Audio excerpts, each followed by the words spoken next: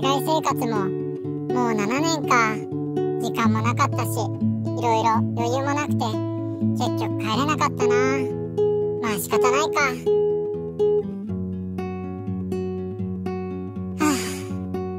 納豆と味噌汁。あー日本食が食べたいな。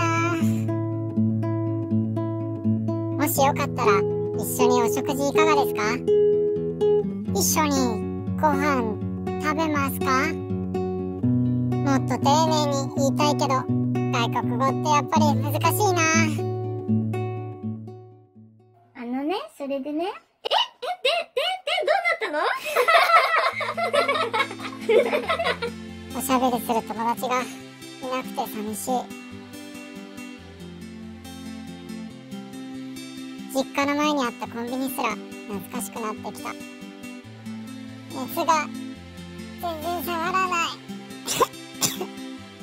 誰か助けてほしいみんな元気かな。ウイルスのせいで人とも会えないし飛行機代も高いし休みもなくて帰れない。海外での一人暮らしはまるでサバイバルだ。毎日生きるのに必死でもう辛い。家族に会いたいな。なんで僕だけこんなに寂しいんだろう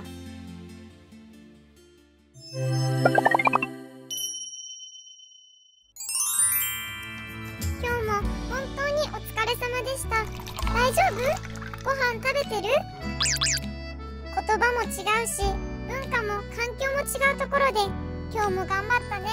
お疲れ様。外国語って本当に難しいよね。プレッシャーを感じなくていいんだよ。ゆっくり、一歩一歩進んでいけばいいと思うよ。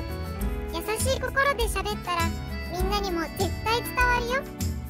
長い間会えないと忘れたり遠くに感じたりするけど会いたい存在がいるってすごく素敵だと思う。今は会えないけどビデオ通話で連絡してみたらどう？乗り越える力が湧いてくると思うよ。無理して頑張らなくていいよ。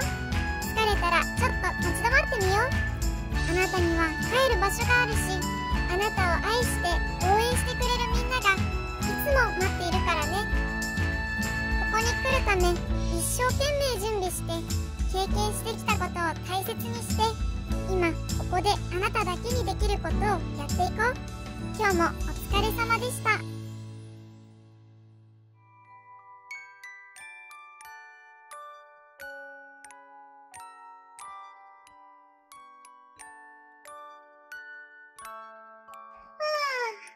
おやすみ